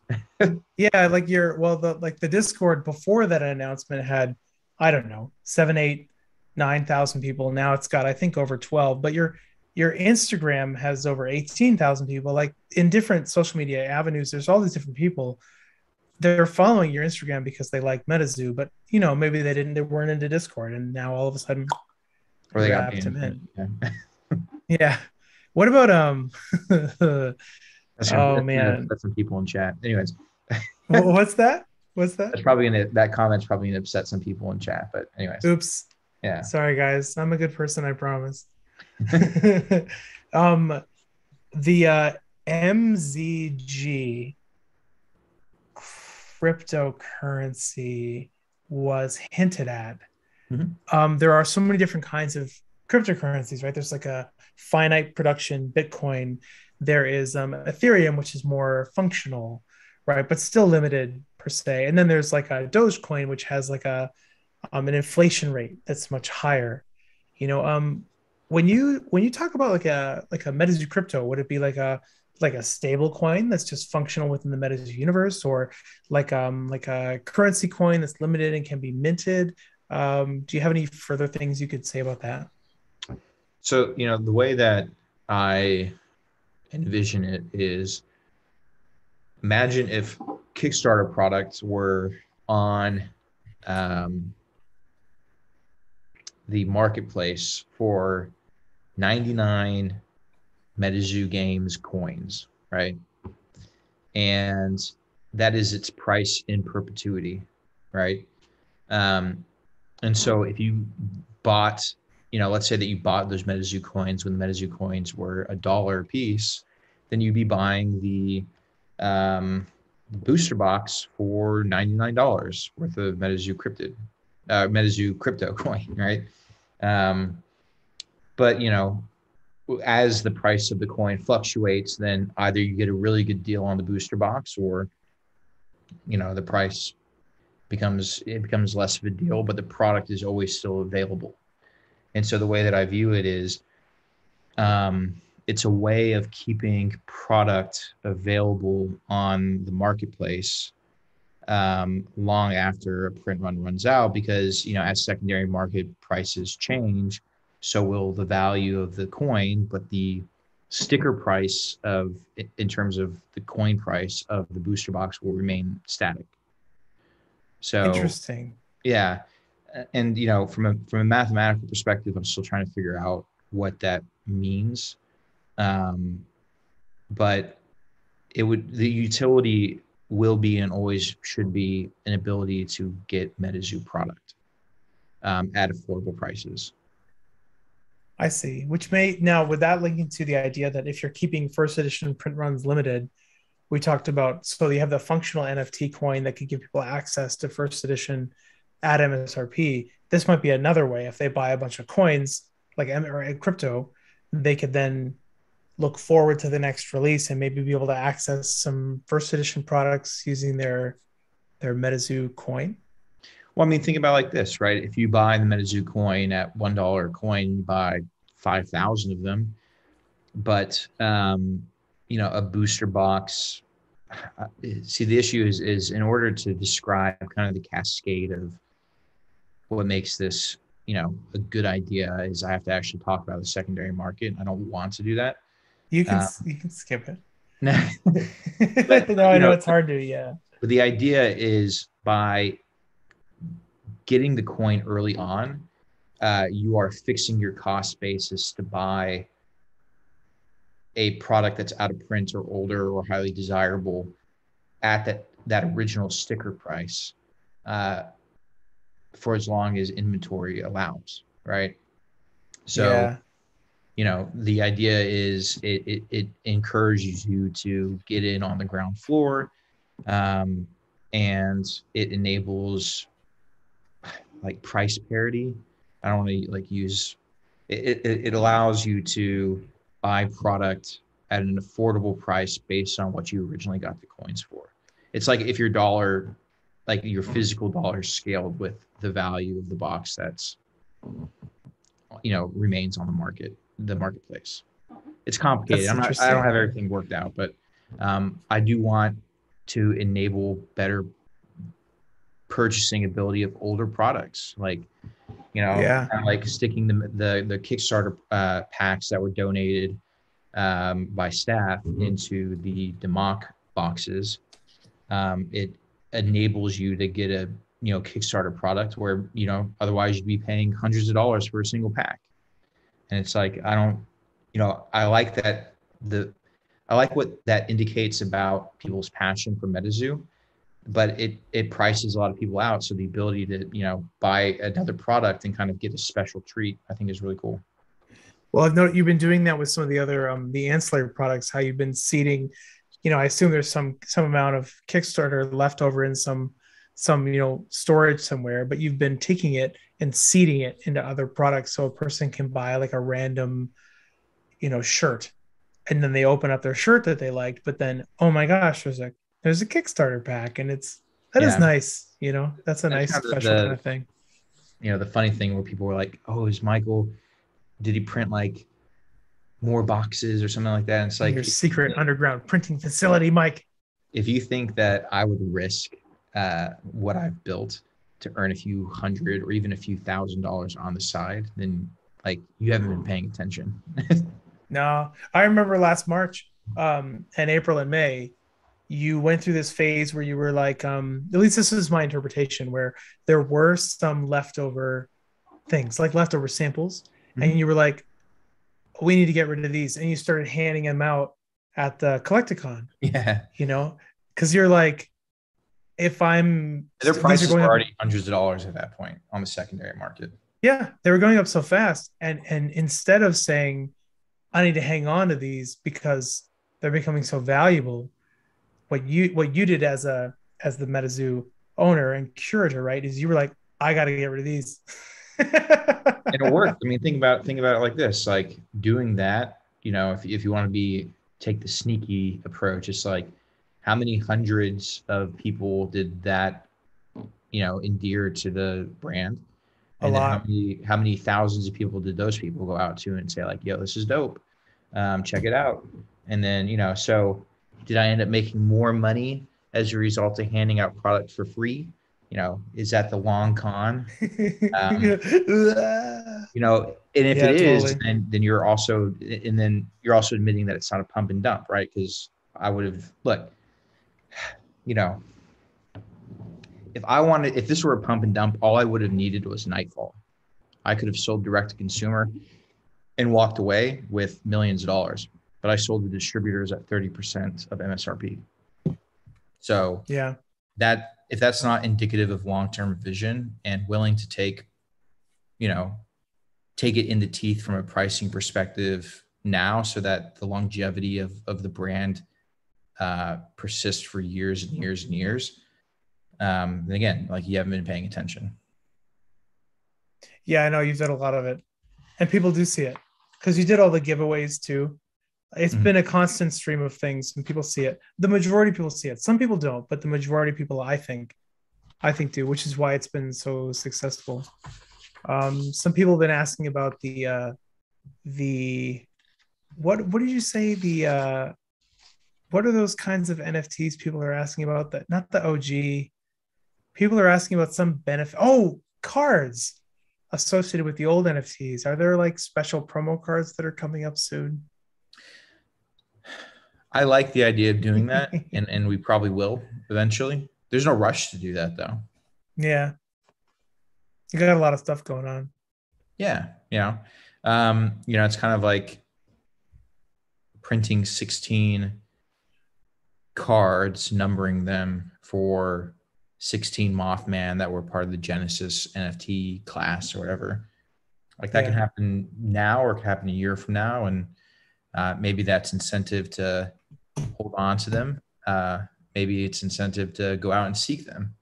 Um, but you know, the way that I see those older NFTs and the way that I see these coins is they're the first generation of NFTs that um, are going to, you know, be you know the first generation of a product vertical that we're probably going to have for for many years to come. is the same with the um there was some kind of loose talk about a uh like sample cards being like a sample card event where you could show up with a sample card and, and someone said maybe it would have to be graded or authenticated or something like that but you'd show up and you could exchange it for an nft one time is that kind of the same thing where there's even if that were to recur there's really no rush well i wouldn't say you could exchange it because i wouldn't want to take cards away from people um, but what i would say is like you know maybe the people who have sample cards um, have access to like an annual black tie event or something like that um, that'd be cool. That's fun. I would go to that in a heartbeat. But I like the idea so of being graded. I actually hadn't thought about that because it's a way of like authenticating them. Yeah, it'd be nice. Uh, I was thinking that's that would be fun. Where would you host that? Where would the black tie sample event be? Vegas. I don't know. Vegas is a cheap destination, like inexpensive. Inexpensive, I mean. Hey, Aoki's house? Yeah, sign him up for that one. In his ball pit? Yeah. Does, he, does he have a ball, like an actual ball pit? Yeah, yeah. I jumped into it. It's like uh, 20 feet up in the air, something like that. Wow.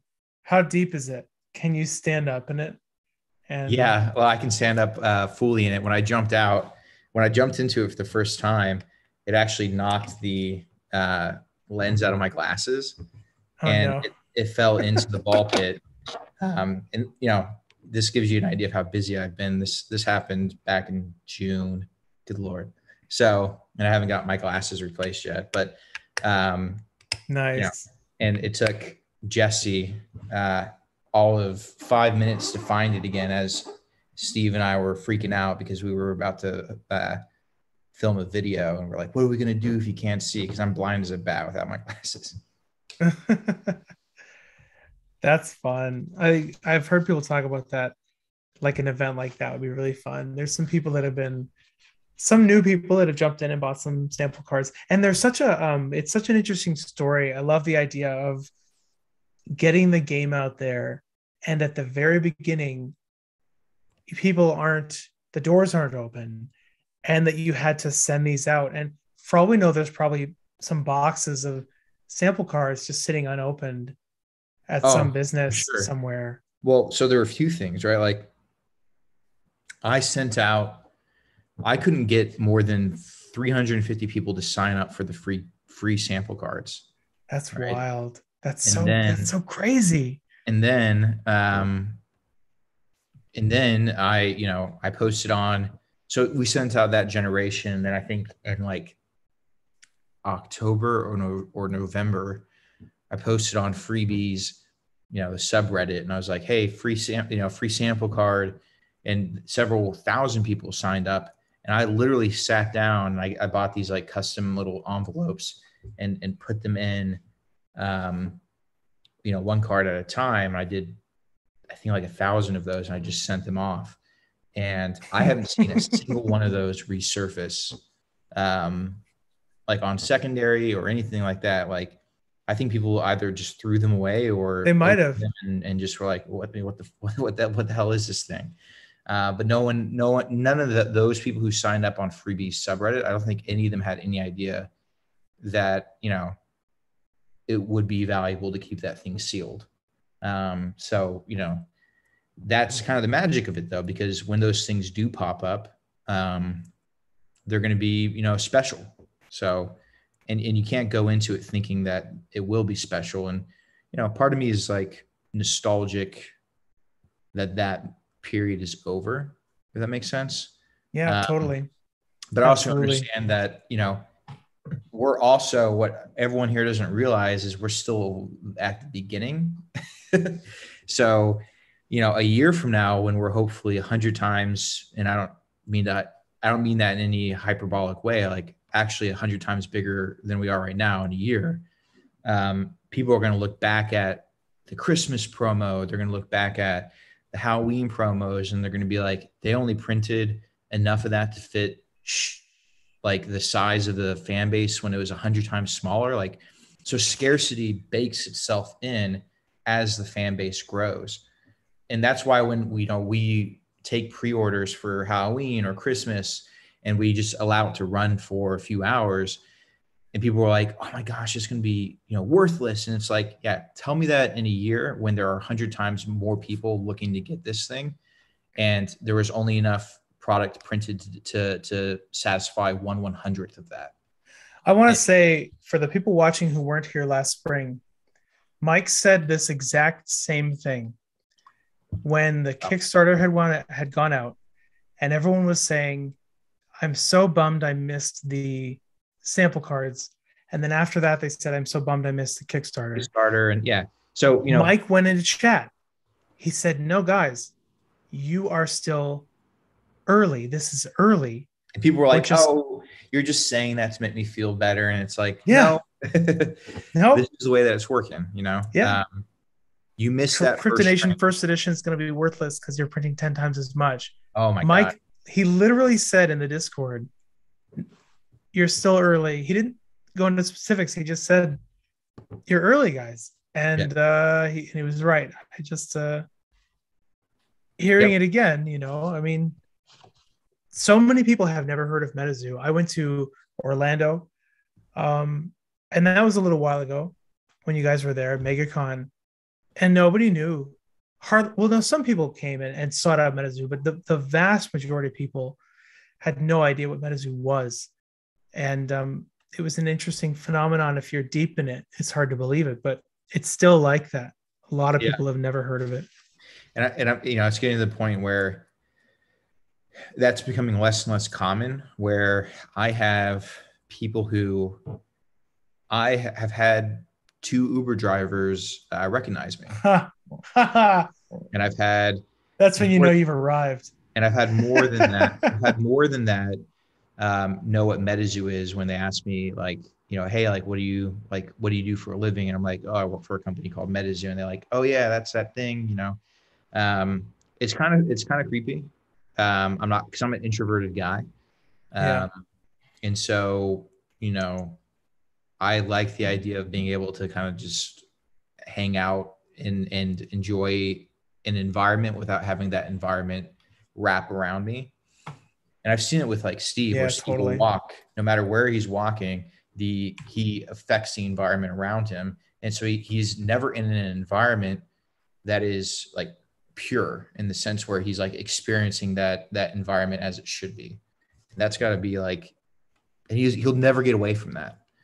Um, and so yeah. you know, it's it's just one of those things where I'm going to these conventions and and I'm I'm trying to connect with the community and I'm trying to build a community um, and and there are certain like gives and takes with that.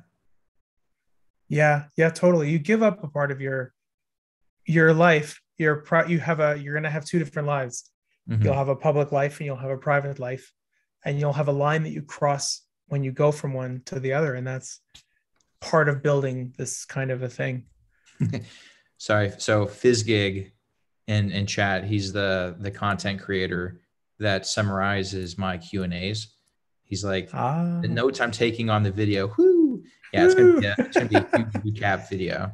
Um, hey, let's give him some more notes. You um, met with Topps today, this afternoon. Yeah. Did they give any insight as to when there? So many people are waiting. We're chomping at the bit for Series Zero. Did they say when they're going to start uh, shipping that out? I mean, it should be next week or the week after that. I think. I, I don't want to put words in their mouths, but right. I know that should be very soon. I think they were originally estimating like late November or early December. Yeah, exactly. Cool, consistent with. What about um someone else has been saying a few times? I didn't forget you, man. Um, I this might be uh, this is probably outside of your control because I know that all products are having distribution issues with like not enough sea captains, not enough pilots, not enough truckers. But um, Australia, any updates on our our Australian friends getting their products? Yeah, we're we're working on sending it to them via air freight now. Oh, that's nice. now. Yeah. You guys uh, hear that? That that can't be cheap. No, it's not. no, I mean it's about you know it's about five dollars per pound via air freight. Um, per pound. Per pound. Wow. And so, you know, and I'm competing with you know companies like Apple on you know space on these on these air freighters um, because they're you know bringing the watch over. They're getting ready for um, Christmas, right? So I'm actually in like our forwarders like in bidding wars trying to get this product you know over so it's it's it's literally the the craziest thing um that no one talks about in the industry because i'm guessing the ability to actually deal with it is probably proprietary. Yeah it probably is. So especially you know, yeah. sorry especially now. Oh no just saying things are crazy now. I, as soon as as soon as we're going into spring, somebody somewhere says, What do you associate with summer? Swimming pools.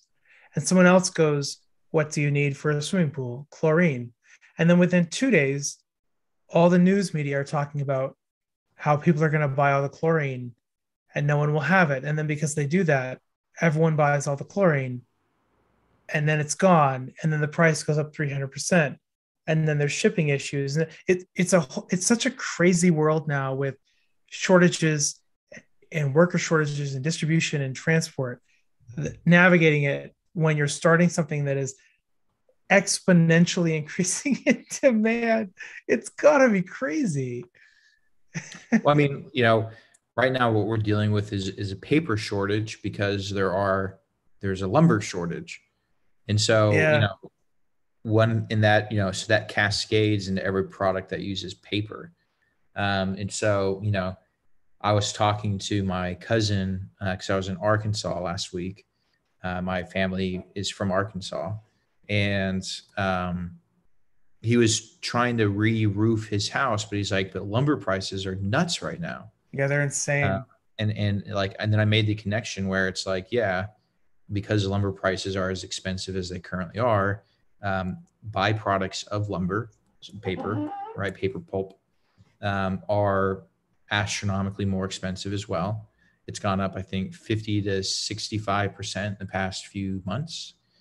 Um, and wow. that affects every part of our uh, packaging. It affects the cards, um, adhesive, um, like because adhesive is, is such an important part of making the paper um, because the paper product or because the paper pulp goes up in price and the adhesive is an adjacent product then the adhesive gets more expensive but the adhesive is used in other types of things and so those products get more expensive and it's just like this cascade that will probably be studied in like economics institutions for like generations another decade yeah, it's, it's this is such an interesting time. Stick to your gun says Cardboardia is an awesome LGS that supports their MetaZoo players 100%. Stick to your guns. Where where's your LGS? Where's Cardboardia? I love I love hearing about stores that support the game. Well, he'll show up in a little bit. There's a latency delay. That's fun. The um, you know, we've got a bunch of um, the players are building up around here. Uh, I can tell because there's a Facebook group that's regional, mm-hmm. and it's starting to like trickle in. You know, um, it's a challenge for a new game to help people learn the game, and having a community at an LGS where you have an MZO or someone someone who's just taking the time to really learn it, just show up and introduce it is it just makes it so so accessible. Um, so yeah. I love that you've expanded playtesting and that you have you're developing more of those MZO, um, the tests that you take to become an MZO, and like the learning materials that you have, because every MZO that you make is a person who can teach the game and and get it yeah, out there. You know, and I wish I could take credit for that, but Kevin, Damien, the current MZOs that we have are just like they're phenomenal, and I'm so excited for and Ted, of course, who runs our events, where these MZOs and um, you know, and then we have like our brand ambassadors like Devin and and and Mario. Like it's the seeds are are planted and and like the the the base structure of how the brand ambassadors, the MZOs, the event coordinators, um, the volunteers, like I I constructed that in such a way that it'll scale.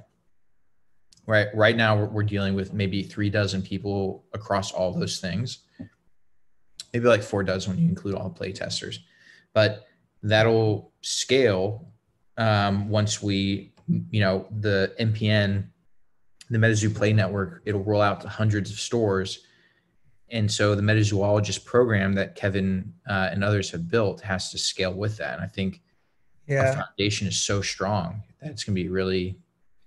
Um, I think we're gonna, I think we're gonna kill it. I think we're we're gonna blow people's minds.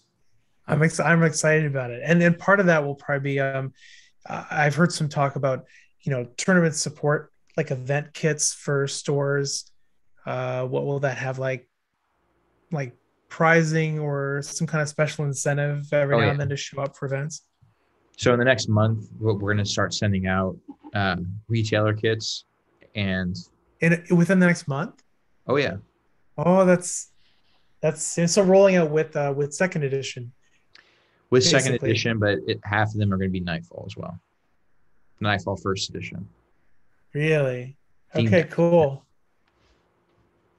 That's cool. As an LGS, then, so you'll, I'm assuming you'll make some announcement that will detail that, and then LGSs will just uh, will just connect with MetaZoo. Yeah. Cool. It'll and it'll also include things like window clings and and yeah stands and stuff like that. Perfect. That's fun. We're gonna like that. Prize support is really fun, especially if it's um, you know, you can you can be very creative with it or not players love it. They love these little trophies and even a participation thing for people who just love to participate. But then, like something that you can kind of fight for. Will you be? Oh, will you be tracking? Will there be any kind of tracking system for performance or like accumulating points or anything like that down the road that could be redeemable in some way at larger events? Like you know how some places have you play a certain amount, you gain points, you go up in tiers, and then you might be able to redeem them for a buy at like a national championship, something like that? So the company that we're going to go with um, has all that and more, which is why it's taken us a while to set it up. We are going okay. to have everything that is needed in order to have a fully fledged um, international uh, play network where people can see kind of like if you go to chess.com, you can see the rankings. We're going to have a very similar thing. We're going to be using the ELO rating system uh, with some changes that I'm making to the algorithm um, to, you know, accommodate threshold values and stuff like that. Um, but yeah, I want people because once you reach certain points, I, I wanted to make it so that uh, people can make a career uh, with playing MetaZoo. And so uh, we're going to be quite ex- expansive with what it means to be an apprentice uh, uh, caster versus a master caster versus a tower caster.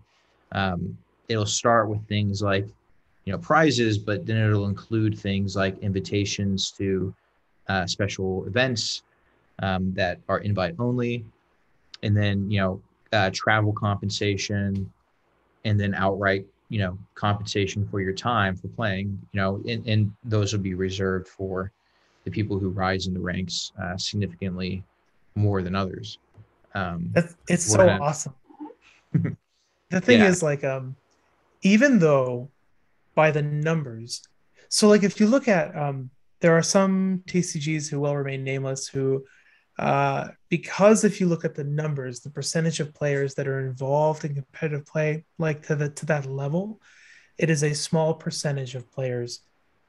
If you look at the overall percent, but you one could make the decision where whereby saying, you know, if because it's a small percent, why support that? But the truth is, like, people who love, like I, people who love golf but are not good at golf, might still watch golf on TV you know, yeah. people who love poker watch they oh. watch the World Series of Poker and they love it. Same with football, same with everything. You have this even if it's a small percentage of people that are those top 1% of players that would get there, you have a huge body of enthusiasts that if you took an event and you promoted it like you're saying and you have you know and you you bring in announcers and you know people that are coming in and annotating and and talking about it there are so many people who would love to see it. And so that's a formula that these other tcgs are missing is is you can attract players but you probably will cap out at 5 to 10% max if you're good at at attracting them. Yeah. What you really be doing is making the event appealing enough to much more than 5 to 10% of your entire fan base. You need to make it appealing to 75 and that's going to be an easier task than recruiting new players um, and so MetaZoo with the fourth wall effects that everyone likes to joke about not being you know viable for competitive play are going to be exactly that they're going to be the thing that we create spectacles out of that will draw in a, a much wider uh, audience to to watch the games and watch the competitive events like they do with um, esports. Yeah, there's a lot of potential there with fourth wall. I could play Fresno Nightcrawlers right now. Mm-hmm. That's all I'm gonna say. no restrictions. no, that's fun. Uh, you know, I thought about that. Uh, it, it is entertaining, depending on how you construct the event and how you how you structure it. That is that's good to hear.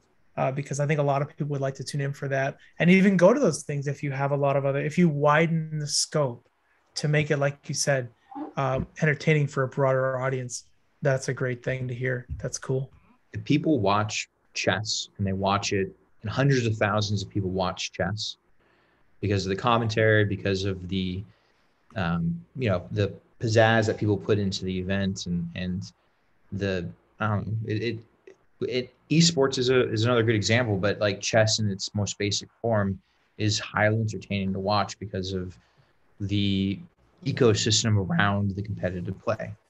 Um, you have to make that ecosystem around the competitive play enjoyable and accessible even if the game itself is not.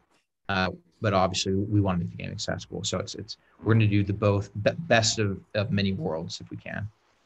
Yeah, no, I see what you mean though. Like even if with with different formats and different events, it can be broadly accessible. But even if that top one percent of a certain of a certain category or certain format is less accessible, um, by making it entertaining and involving, you know, it can still be awesome to watch uh, to yeah. to a broad variety of people. Kind of That's like cool. a sport like football, or you know, where you have pee wee, you have um, you know high school, college, and then you have professional. Uh, everyone can start playing football. The chances of you making the the NFL are very small, but that doesn't lessen your experience in high school. I'm trying to say. No, I get it. I and get it certainly it. doesn't. It, it, certainly doesn't lessen your experience when you turn on the TV on Saturday and Sunday and you watch. No, it's cool. Um, and so people have to broaden their perspective when it comes to thinking about participation in competitive events. Um, and I don't think that that's been widely. I don't want to discredit anyone, but I, I think that there hasn't been enough effort put into doing exactly what we're talking about, right? Um, and I think MetaZoo is is really well positioned to do exactly that. Yeah, absolutely. Plus, there's such an enthusiasm, at least preliminarily, from what I've seen so far. You have a very involved, enthusiastic community um, who I think would rally. They would rally to that. If you build it, Mike, they will come. Yeah. that's, well, that's what I think.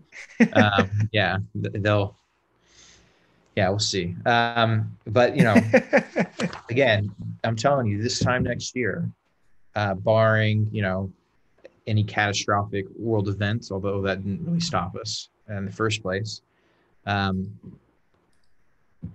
I think there will be somewhere between 50 to 100 times as many people involved in the MetaZoo community. So for those of you who feel left out um, or as though you've missed the train, you are still early. Trust me.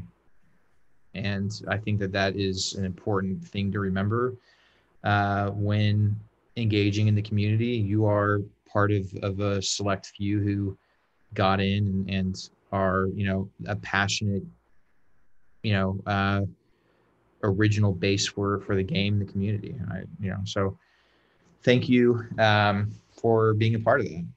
and, and, and I have to call it relatively soon in the next five minutes or so because ah. uh, I have a, a pounding headache uh, from being on the computer all day. But um, that's fair. You've carved out a lot of time for us. We all we all very much appreciate it. Yeah.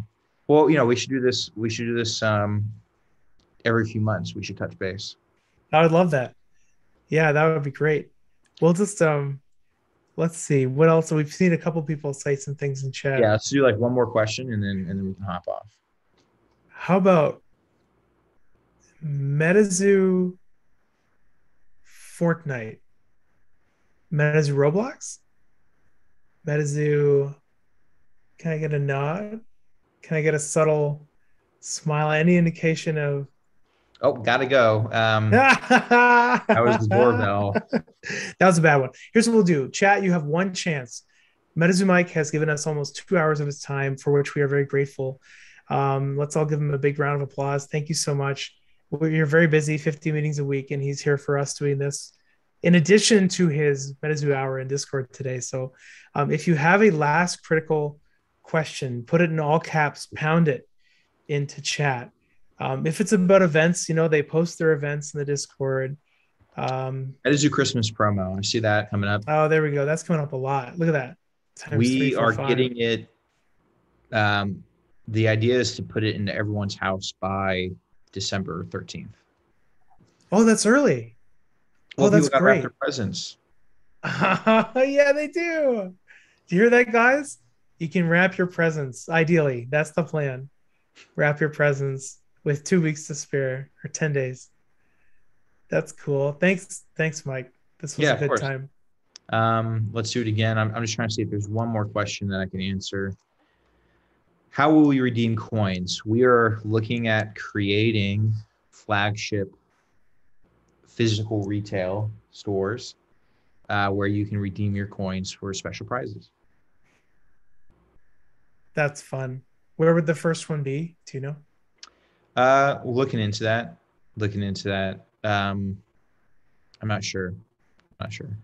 Nice. Yeah. Cool. I wish I had a better well, answer. Um, right now, like California or Vegas, California or Vegas, um, someplace in California and Vegas and Nevada uh, are kind of the likely places, or New York City. So we'll see. Nice one yeah. one coast the other or the highly accessible las yeah. vegas. That's fun. Awesome all right. Well hey look thank you so much. It's been uh, an amazing interview and i'm going to go watch PaymoneyWubby right now. So uh, nice. uh, everyone enjoy their their evening and uh, let's do this again sometime soon. Sounds good mike. Have a good night. Thanks everybody for coming by. This was awesome. Appreciate the support as always metafam have a good night